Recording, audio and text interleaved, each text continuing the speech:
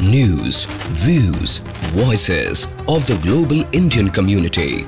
India abroad. Um, so we were talking about your latest work when she married Dr. Patekar. Um, I want to know how did you conceive the idea about writing this collection of short stories, and you know it touches everything, like from childhood trauma to racism to empowerment. So how do these themes intersect, and why you chose to explore them in your stories?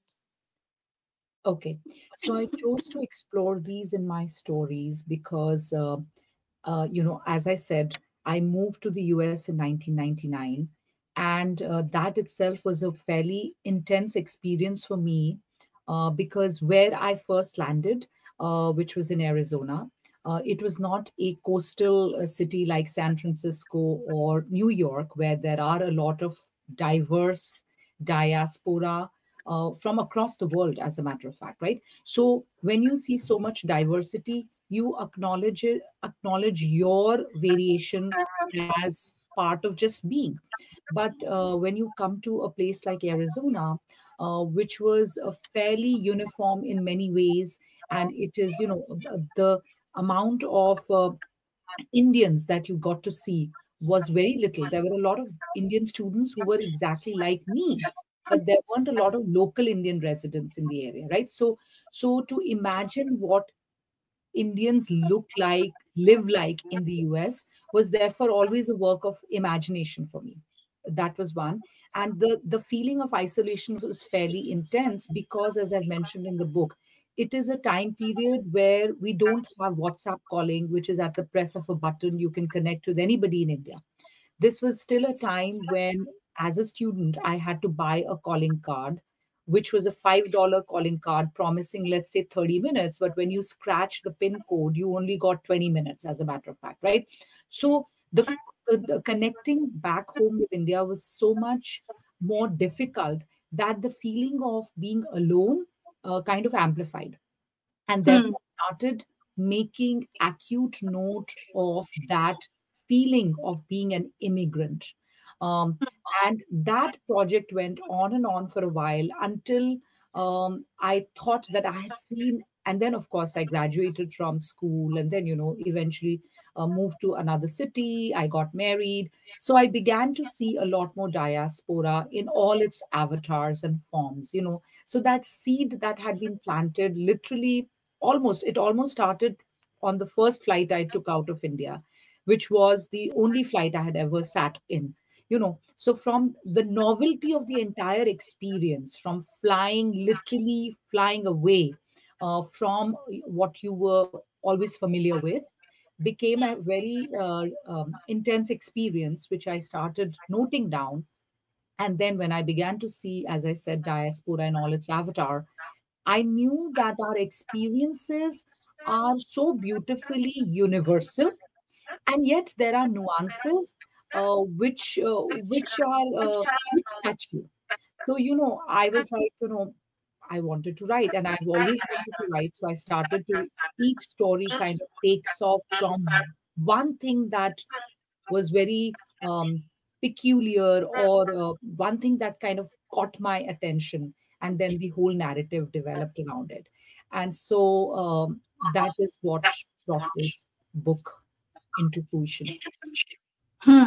So, um, how long did it take for you to, like you mentioned yesterday, that you know it's it is never decided. Like you're a lot of times you're lost while working because you don't know the outcome. You're not necessarily working on a predetermined goal. So how, how long did it take for you to write this book? So this book has been a long time in the making and uh, as I said, you know, it covers the first 10 years of my existence in the US, but also because I consider that time period fairly unique now that I look back at it, right? This was the mm. first 10 years when I said it's a pre WhatsApp period, it's a post 9 11 period. And it mm. is a period where the Y2K wave has just brought in a lot of IT uh, immigrants Indian immigrants. You know, these are young people, and with them come their shadi.com wives, right? So this is an interesting mix which is separate from the diaspora or from the Indian immigrants who had come earlier. And so Mhm. we have a lot of undocumented Indian immigrants here who work for literally minimum wage in uh, you know in uh, grocery stores in restaurants and so on there's them. And then there's this entire set of the doctors and engineers who came right? But here is us at the y2k wave where, we, there's a lot of youngsters who may not necessarily have all gone to iits right? Uh, they just went to an niit right?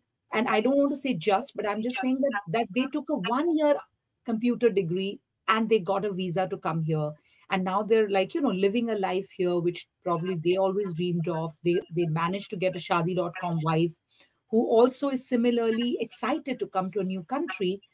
But nonetheless the truth remains that this is a country separated by geography and um, um, and time literally time zones right?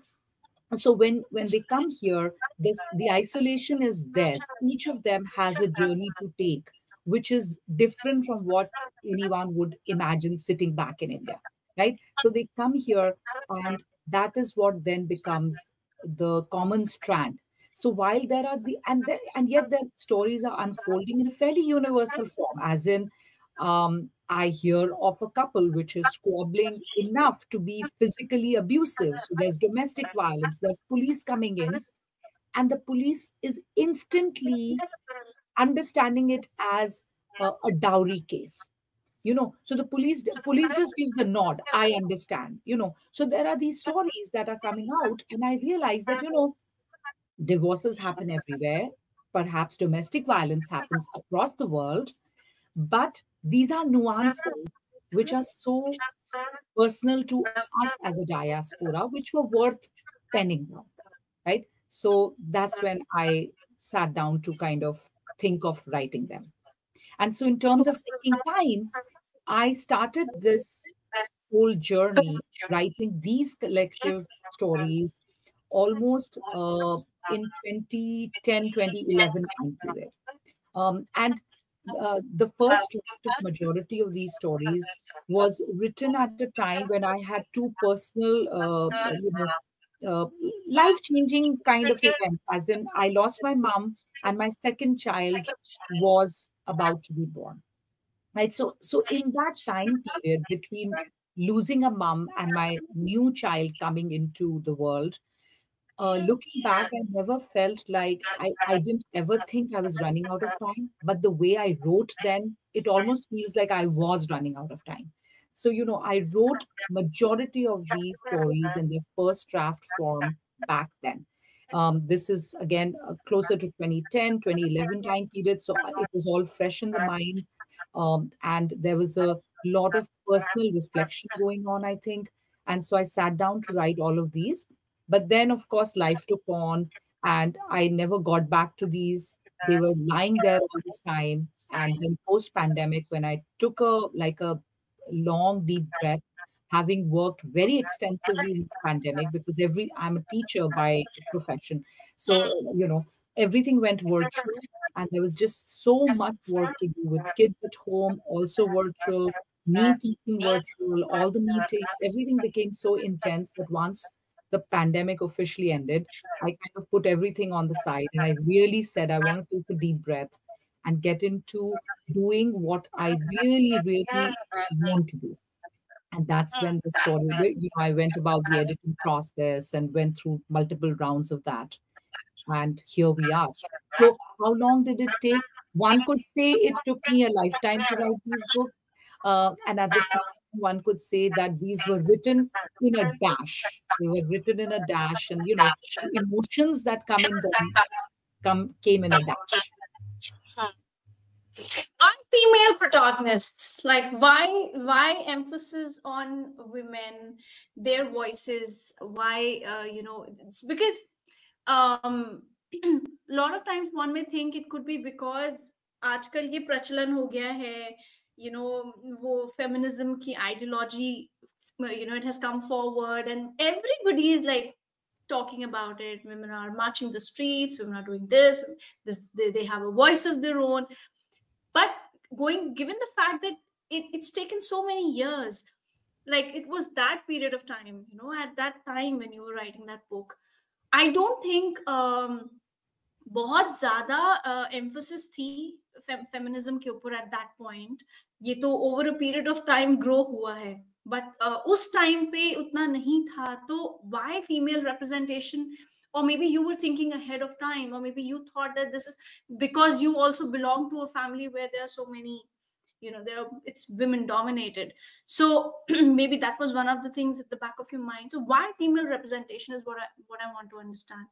So um, uh, the majority of my protagonists are women um, because uh, i mean again i i never sit down to write because i want to deliberately write about one cause or anything but mm. something triggers right and mm. then i hmm. begin to write and then i over you know as i as i keep writing i try to be a more responsible writer in mm. uh, in in being able to uh, portray and project uh, women or any other entity in the light that i would like them to be received in the world mm right and therefore mm. as i've said that you know i try to keep away from women being victims in my stories mm. not because i yeah. think women are not victims women are women i mean we we still have a long way to do to go in terms of women being treated with the kind of humanity that they deserve mm. but because i want my stories at the end uh, to also uh, you know be able to shed a greater level of empathy on any um, uh, cause or matter right? But having said that the, the the women in my stories are there very organically. They were never planted there for the sake of because they are women. Uh, it is their story. Uh, so if i'm talking about the title story when she married dr patekar you know i will take the liberty of putting it on record but my muse for this story my inspiration for the story was our famous bollywood diva madhuri dixit right? Um, and the reason was again because i was i have over years uh, felt that it was such a big decision on the part of someone who was living such a royal royally um, um, perceivable. You know the perception was royalty. I don't know if her actual life there was because i don't know if she was truly very uh, you know uh, tired of the paparazzi following her and all that right? So but i imagine that journey that you know she was tired of paparazzi. She really wanted a life which was more normal and therefore she comes to America with this doctor uh, because she finds so much solace in anonymity that the doctor provides, right? So she comes here, but then again, she will she is stunned by how fickle her fame was.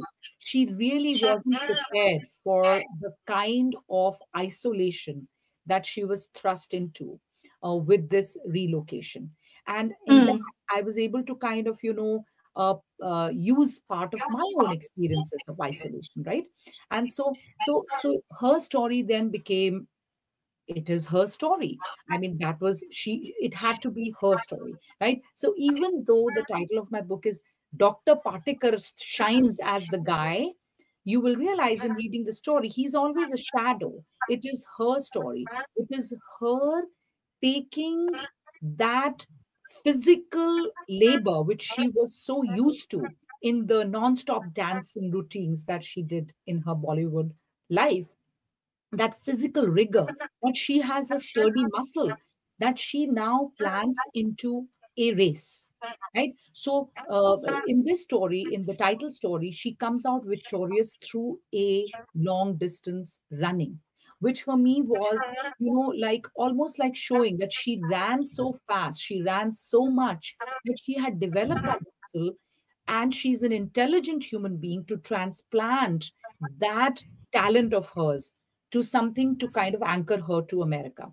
So she runs a long distance and she she wins it in her own way without any medal but she wins it in, in her own way and says here i am i've arrived right? So it is a story of uh, uh, accomplishment. It is a story of how bollywood could trivialize women but their the, the muscle that they develop is nothing trivial. It is a strong one. It allows them to uh, sprout wings anywhere in the world right? So that Hmm. became so that story again. So similarly i think the women in my stories are there very organically and therefore i'm very proud of the fact that but there are women but there are also men in my stories Hmm. right? So uh, uh, there is a story of an a young it uh, engineer who comes here. He's a youngster. He's very happy. He's full of uh, you know exuberance. He's just fallen in love with a uh, with a brunette with a white brunette. You know she works with him and it's very natural for people to fall in love he's just fallen in love and then he becomes a victim of a hate crime. This is post 9-11 right? So he becomes a victim of a hate crime where obviously it's not um, uh, you know it's not a, a fatal attack but nonetheless he's really stunned by this right? And so that's where the interplay of like you know you could be living a very ordinary life but suddenly you're made to realize you're an immigrant right? So Mm. things like that uh, and that is a very that is a, that is atul's voice. Atul is the protagonist there. That Yeah. is totally his voice. and i give him you know credit. And i'm happy that you know i feel very uh, i felt that the voice came out very authentically. I really liked what came out of it. Likewise there's a colonel story who's being asked to migrate to the us by his only child. Uh, but the colonel resists uh, not because of patriotism if one might one might want to say that to him and there is a sentence there's a conversation in the book where one of his peers age peers says you know oh so that's because you you know you were a colonel so you must be very patriotic and he's like you know that's at this age i don't care for what passport i'm holding on to right Hmm. what i care for is where i am in terms of my memories my comfort level my familiarity right? So that story is about how uh, how the whole world glorifies america as the land where everybody wants to go to migrate to. But here is an old man for whom this migration holds no such glory. For him at this age and time what matters is is being with what is familiar to him right? So the contrasting journeys of migrants uh, i was able to put. And therefore while there are women there are also men. Um, and you know all of them come about organically to me. Uh, but as i said once i've introduced a character i really try to be very authentic to them uh, portray them in the in the light that they would ideally.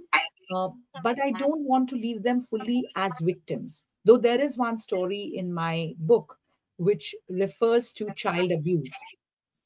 You know and child abuse uh, slash like you know the, so basically how the concept of the family in india sometimes gets muddied and you know in this amorphous web of people around us uh, sometimes elements enter who can take advantage of situations right? So in one story i have a young uh, kid a girl who is thus uh, kind of abused by a, by an uncle in the family uh, over multiple years. And and then time passes by and she migrates to the us where she's very keenly aware of what would be the definition of family because she's so detached now from that entire setup. She has the she has the will and the tools to literally uh, define who will be family in america. She's not meeting random people randomly all the time. So for her daughter she sits down to actually define. This is what family means to us. This is it. Everybody else is mr joshi and mrs uh, pant and so on. There is no uncle in our life in that way right? So that story goes on. And you know uh, some friends have come back saying that they felt that this person uh, uh, she was left kind of unempowered in the way that she never went back to her uncle to kind of take revenge but you know that uh, and and so while it feels like that I feel that not everything can have a tangible revenge and happy ending in life. And since it doesn't, we redefine the way we can, uh, what we can. So, in that story, yeah. Revenge is a very, it's very subjective. Uh, It's very, uh, it's, it, it also differs from person to person. Some people uh, are not um, vindictive per se some people completely it, it just reorganizes their life Uh, the Very way they uh, their outlook probably how they see things how they view things. And maybe for them revenge is that not wanting something similar to happen to their own child or their clan and their clan you know. So um, hmm. okay. So uh, i see culture i see identity um, and and I see a very interesting mix of you know belonging, sense of belonging. All of these are there in your book, and the book you know smoothly navigates through all of these in the environment. So, have you personally experienced um, challenges with these entities, with these particular aspects in your life as an as an immigrant? So, so I'm fortunate enough to have never experienced them. And I'll say why. Because I think I came with a great sense of empowerment. You know, so I never kind of, for me, it, uh, I, uh, the empowerment was that, um, you know, I'm here to study. I'm not here to take anybody's uh, job, which is not rightly mine. You know, so everything that I, at least that's what I felt in my mind when I came here. Uh, since I earned my right to come here, I came here on a full scholarship. You know, I never felt like, and so I was fully empowered in that way. And therefore, when I went, it is so, people have so many times tell me you're living in a fool's paradise to imagine that, you know, there is no uh, bias or while discrimination and prejudices are very strong terms, but pe- but people around me use them often enough that I feel, am I actually like an ostrich with my head, you know, uh, buried, uh, and I'm not seeing something? So that changes. That changes for me now when I have children going into the system. Uh, Hmm. they are part of the system. They are every bit American um, and yet when they step out they are also uh, different from a majority of people around them. They look different. Hmm. so for them whenever if they ever come back to me Hmm. that they felt one way or the other that's when it becomes personal to me right? Uh, however again being a uh, being almost optimistic uh, we've kind of brushed that aside for them. We've never let them, uh, you know, kind of dwell on that topic long enough to internalize it because this is their karma bhumi, right? They Hmm. have to navigate this with as much sense of ownership and entitlement. That Hmm. so at least at home we try very hard never to let them feel anything else but Hmm. this is where you do this is what you will do this is your country and you have to work hard for it. You are entitled to every bit of promise and privilege that this country has. And if it goes down the drain you are responsible for it too right? So you Hmm. give them that sense of completeness and Hmm. hope that they therefore are able to fight off any such identity uh, prejudices uh, that is our part. So that's where i have become sensitized to that idea having never personally felt it per se. You know at most where i have felt is not even along the lines of um, identity or race. It is more along gender. You know so uh, twice in my entire experience here i have had a colleague say something which to my gender radar felt very uh, you know odd. And i am happy to say that one time i was able to snap back and i'm very sad to say that one time i was not able to. As in i just let it pass. I didn't retort. And looking back, I can realize that I was a much younger person when the first incident happened, and I was not in a position where I felt, you know, I should immediately retort. And I kind of just kept it to myself. Like, you know, I was like, okay, let it pass. Let's not blow. It was nothing big, it was just a statement. But this version of me would never take, right? However, when the second incident happened, I was a much older person and I felt far more empowered. Um, and I had the right vocabulary too. And I was immediately able to say that, you know, I don't think you should be saying this at all. I hope you know that if I were to even report this mildly, there's so much waiting for you right here. You know, so just telling them, being familiar with the law, being familiar with what's out there, and just reporting it back to them helped me a lot in those uh, in this latter situation.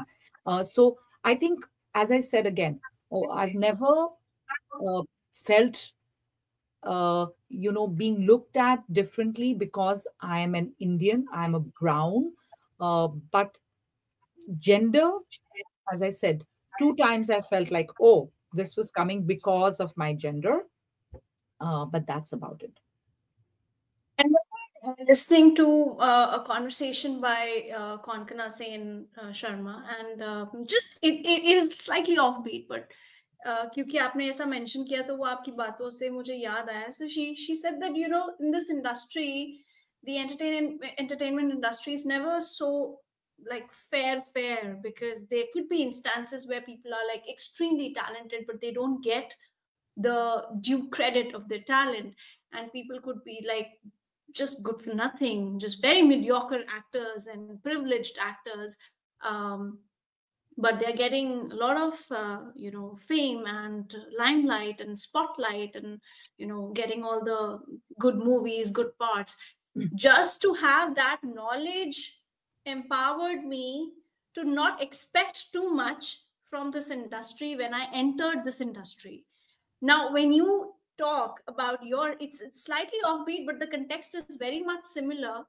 Just that knowledge just that understanding of how it's going to be maybe you know sort of helped you or helped her in that in that regard to bear be bear the you know the the difficulties the challenges of the place or the situation or the location so you know manvi i feel that konkona saying that certainly makes sense because I mean it is what it is in terms hmm. of uh, you know uh, you're out there on the screen, right? Yeah. And uh, so um, it is. that I really don't want any one of us, you, me, or my children, to settle with this idea that you know oh there'll always be biases and nepotism and so on and therefore i sh- i'm okay to settle for a secondary situation um, hmm. I don't think any one of us should be internalizing this sentiment. Yes, there hmm. will be biases, but yes, I will, I will try every level to see to it that I get what I feel is due to me. Yeah.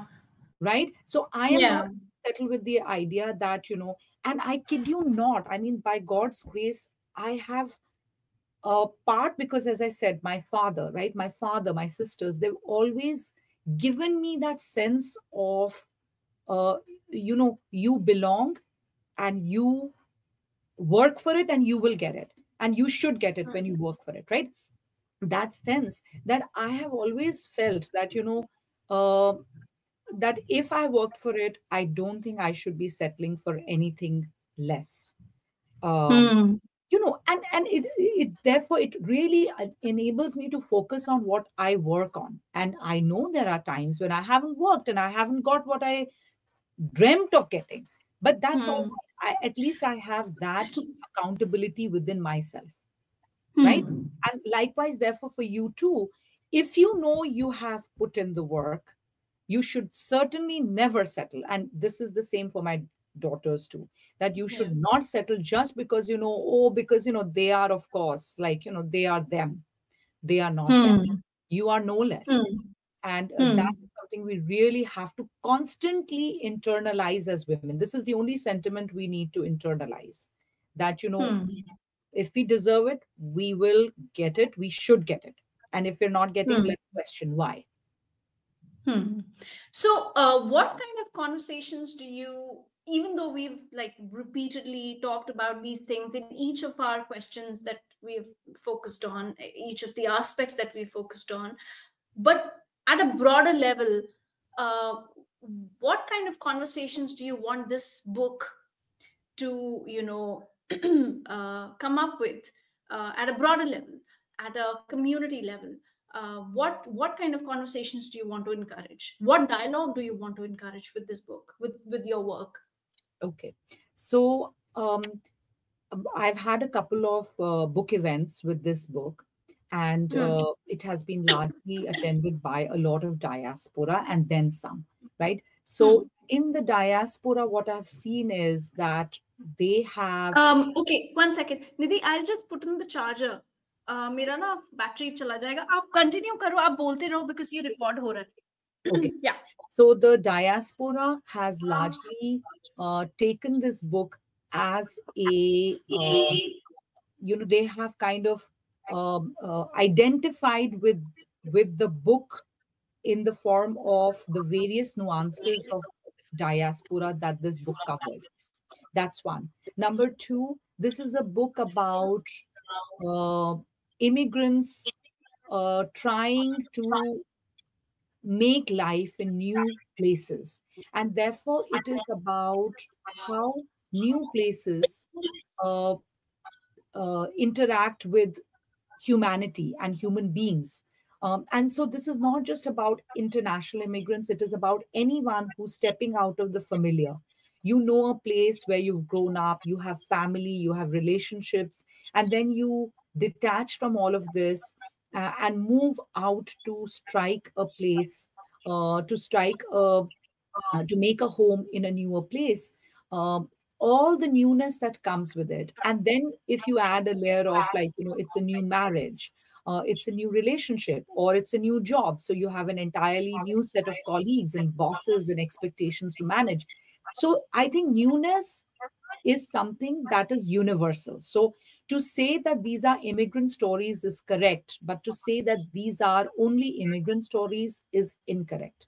These are Hmm. stories about life taking you to new places, you meeting with new challenges, and Hmm. how do you navigate with the particularities that come with your identity.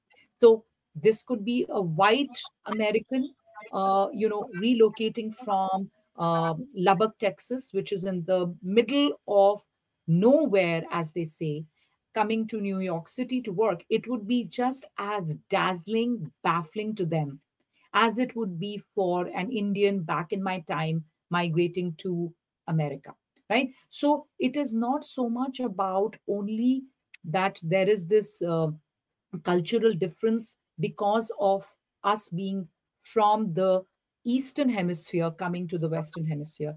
It is about cultural difference because when we live in certain uh, certain smaller geographies that we do, uh, we become part of a cultural fabric which is different from when we relocate to other places. So newness is something that is universal. The other Hmm. conversation I want to have is, uh, as you mentioned, there are women protagonists in the story, and they all have different uh, journeys in a way, right? So there is new marriages, there is age, there is ageism in a story.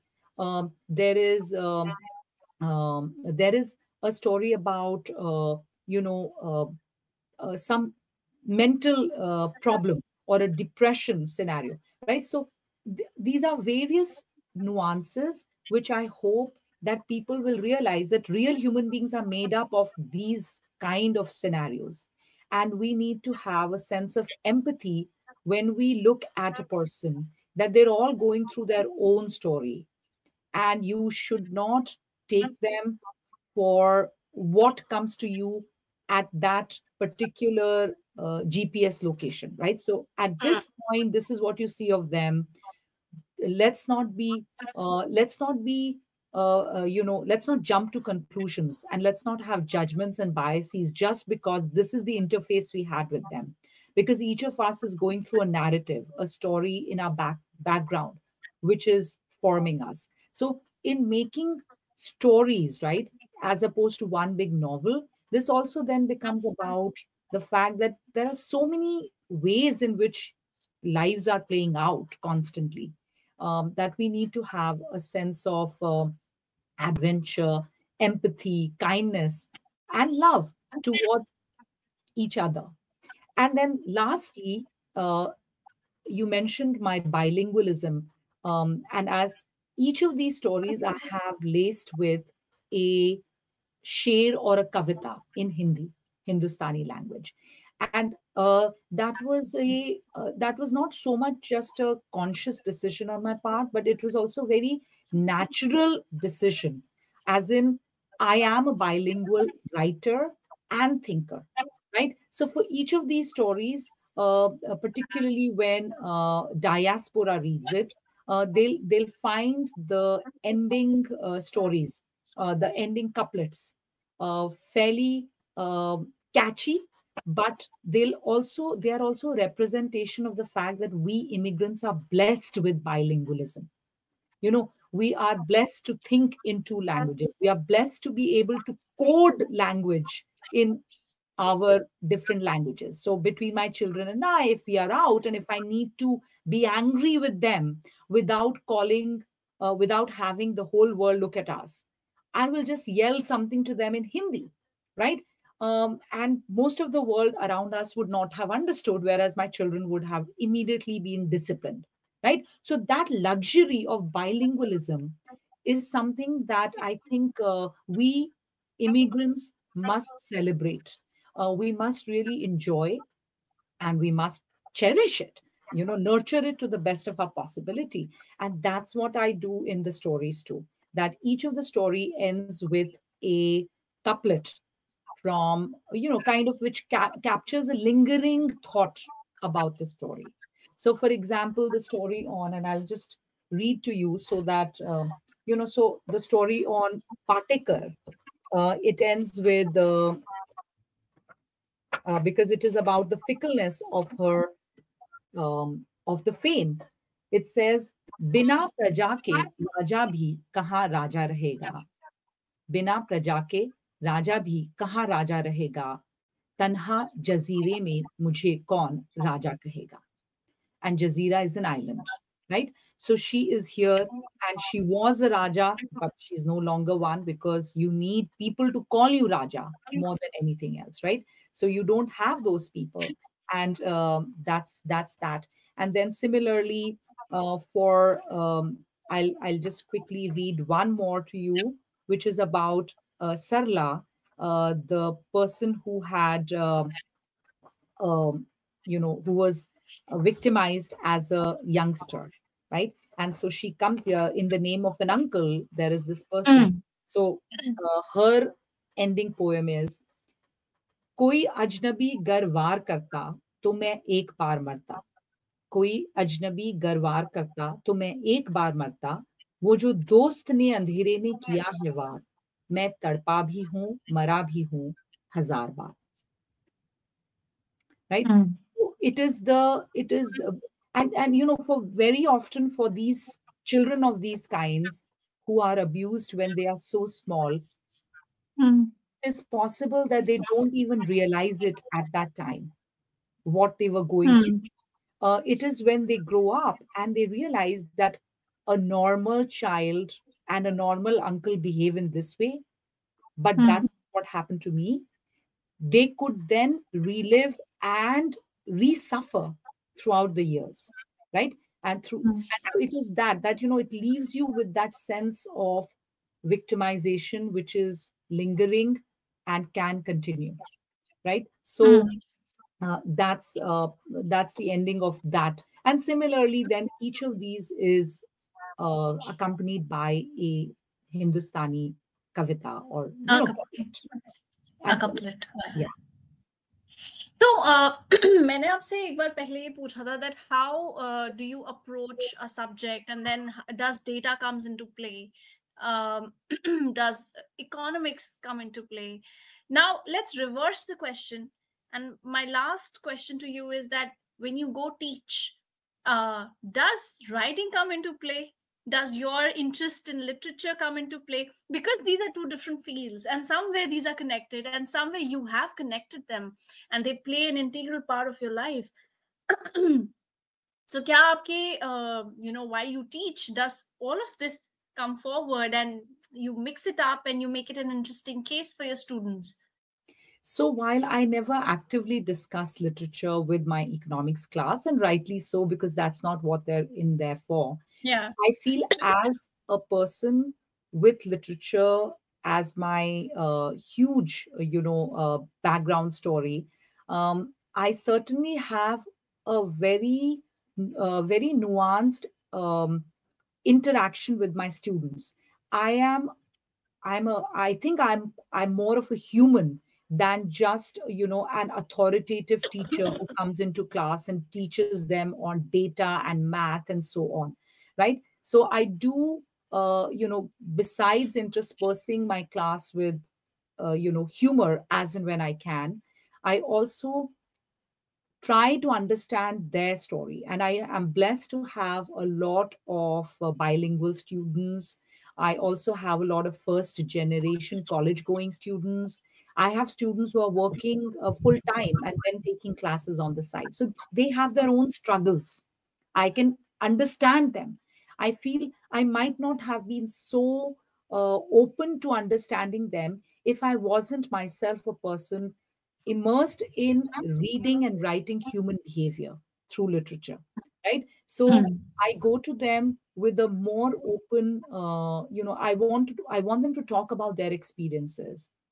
And of course i bring an economic perspective in their uh, uh, scenarios. So and we talk about climate change often uh, through economics as an experience uh, but i would say and this probably would be true for anybody because i uh, very uh, I very consciously migrate to literature, either in the form of a writer or a reader. I am more empathetic than I would have been if it weren't so, if I was not resorting to literature as much. And therefore, I want to say uh, the last word would be that literature just makes us all better humans. And I, I want to go on a limb on that and say I bet you that it does. Mm. So, mm.